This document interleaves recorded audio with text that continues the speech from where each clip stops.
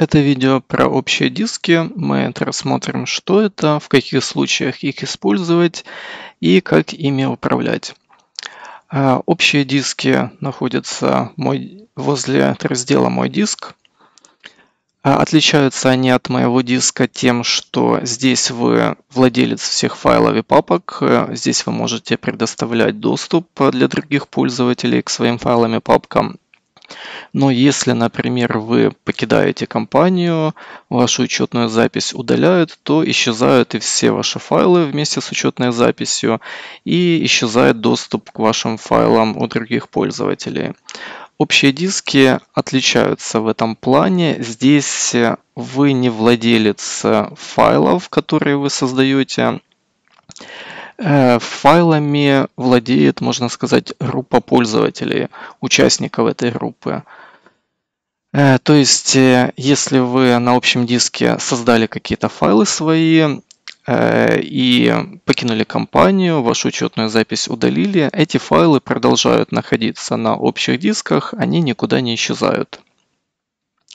Общие диски доступны в тарифном плане Google Workspace, начиная с бизнес-стандарт. Э, и если у вас такая подписка или выше, то чтобы создать общий диск, вы переходите в раздел «Общие диски», э, нажимаете «Создать», либо правая клавиша «Создать общий диск», вводите название общего диска,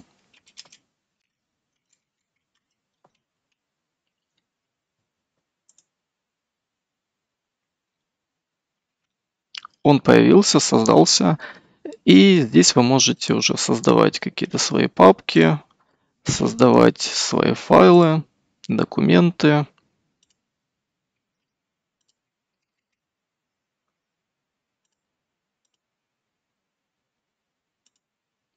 Вот у нас есть наш общий диск, там уже несколько наших файлов. Э, что мы можем с этим сделать? Мы можем настроить доступ, для кого мы будем э, предоставлять доступ к этим файлам. Нажимаем правую клавишу «Настроить доступ». Э, и здесь нам нужно будет добавить либо группу пользователей, либо пользователя, для которого будет доступен этот общий диск.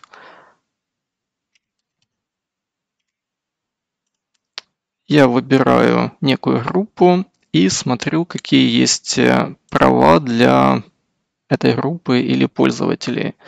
У нас есть роль читателя. Это доступ только для чтения файлов.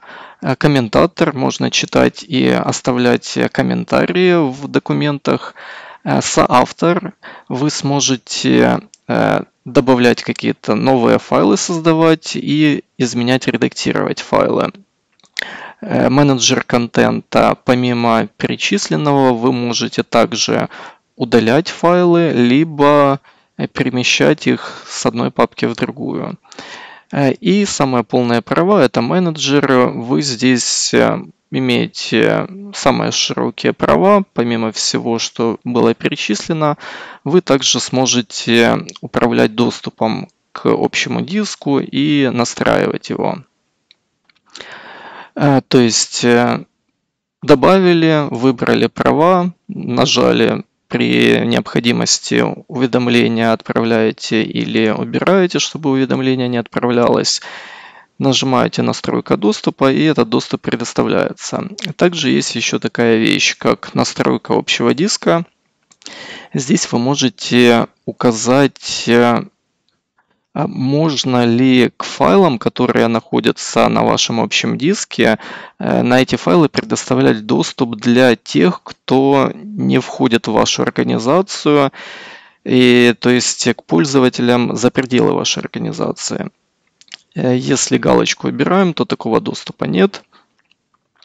Э, также здесь вы решаете, можно ли доступ к файлам открывать для тех а кто не является пользователем вашего общего диска. То есть здесь, если вы не прописали этого пользователя, э, то убрав галочку, вы не сможете к какому-то файлу предоставить доступ к этим файлам для таких участников, которые э, не прописаны здесь. И последняя, последняя галочка – это э, вы смотрите, решаете, можно ли предоставить для читателей э, и комментаторов возможность скачивать, печатать, копировать файлы. Э, такая же настройка отображается еще в разделе настройки общего диска. То же самое. Э, здесь вы также можете написать какое-то сообщение пользователям всем, э, изменить тему, это выбрать, э, допустим, какую-то картинку-заставку, переименовать, что-то найти, скрыть общий диск, посмотреть, какие файлы удалились на общем диске, допустим, удаляем какой-то файл,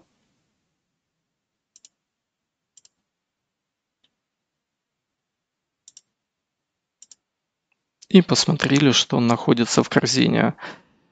И также можно удалить общий диск, но удалить его можно только в том случае, если э, все файлы и папки были предварительно удалены. То есть мы вначале удалили все файлы, удалили все папки, и после этого можем удалить общий диск.